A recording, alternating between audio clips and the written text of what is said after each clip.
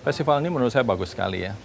Cuman seperti diharapkan juga oleh Pak Gubernur Mangku Pastike, yaitu festival ini kok kedengarannya lebih di luar negeri. Kita juga lihat ya, hadirnya di sini juga kebanyakan orang-orang asing, orang-orang Indonesia yang sedikit, penulis dari Indonesia sedikit. Jadi kayaknya tahun depan, tahun-tahun berikutnya mesti harus di, lebih disosialisasikan sehingga lebih banyak lagi penulis-penulis Indonesia yang hadir berpartisipasi dalam forum ini. Bapak dulu kan memang uh, Bapak dulu jurnalis, kemudian hmm. Bapak uh, sekarang uh, apa ya uh, terjun ke bidang yang hmm. lain gitu Yeah, Tapi Bapak yeah. juga kan sebenarnya masih melakukan uh, kegiatan tulis-menulis. Nah, yeah. menurut Bapak festival ini di, di dunia tulis-menulis itu bagaimana Pak posisinya? Uh, kalau untuk saya ya seperti saya katakan tadi bagus ya. Ini adalah satu kesempatan di mana kita ketemu penulis yang lain. Tapi juga yang lebih penting lagi, ini kan bukan hanya Writers Festival, tapi juga Readers Festival kita juga ketemu dengan orang-orang yang membaca buku, orang-orang yang suka membaca buku. Dan untuk seorang penulis itu penting. Karena kita bisa bertanya pada dia, sebetulnya apa sih buku yang diingini gitu ya. Dan misalnya kemarin itu saya hadir dalam satu seminar yang untuk saya itu membukakan mata, eye-opening gitu ya. Ternyata ada yang namanya co-publication ya. Yang selama ini kita mikir, ah buku Indonesia ya penerbitnya Indonesia aja. Ternyata sekarang buku Indonesia kalau bagus bisa juga diterbitkan di Singapura misalnya yang bahasanya juga sama atau bisa memahami bahasa kita.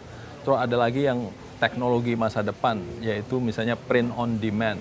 Yang kalau saya nggak ngerti itu sebagai penulis, barangkali saya akan digilas oleh zaman. Karena saya hanya mengandalkan buku itu harus tercetak, gitu kan. Ada lagi Pak yang bisa di-share? Yang bisa di-share ya, menurut saya itu tadi. Saya tadi malam misalnya saya makan malam dengan beberapa orang dari Australia, jadi kita saling bertukar pikiran gitu ya. Ternyata hal-hal yang saya anggap uh, apa biasa di sini untuk mereka tidak biasa. Jadi itu kan sesuatu bahan untuk ditulis. Oh kalau begitu mereka itu kepengen tahu informasi ini, ini, ini, ini. Yang selama ini saya pikir ah mestinya itu taken for granted lah gitu. Mereka tahu gitu. Berarti itu udah, udah ada semacam inspirasi atau ide untuk nulis Pak ya? Ya pastilah. Untuk, ya. Kalau seorang penulis itu mainnya pikirannya selalu berputar tuh, nyari ide gitu. Jadi ketemu di mana di mana Iya. Uh, betul.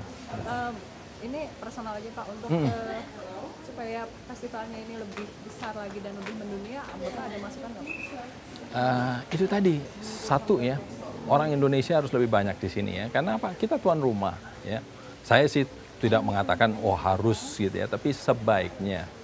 Karena orang-orang asing yang datang ke sini kan juga kepengen tahu kan views atau pendapat-pendapat dari penulis Indonesia. Tapi juga readers dan mungkin ini mewakili kondisi kita sebenarnya. Dari semua orang Indonesia yang datang ke sini kebanyakan adalah writers. Readersnya nggak banyak karena memang ternyata pembaca buku kan nggak banyak juga di di Indonesia. Tapi dari misalnya satu meja tadi malam itu 10 orang yang penulis cuma saya, sendiri. Itu semua adalah readers dan mereka menceritakan pada saya buku apa yang mereka baca, buku apa yang mereka ingin baca gitu. Itu menurut saya penting. Jadi readers dari Indonesia juga harus lebih banyak lagi hadir dalam uh, event seperti ini.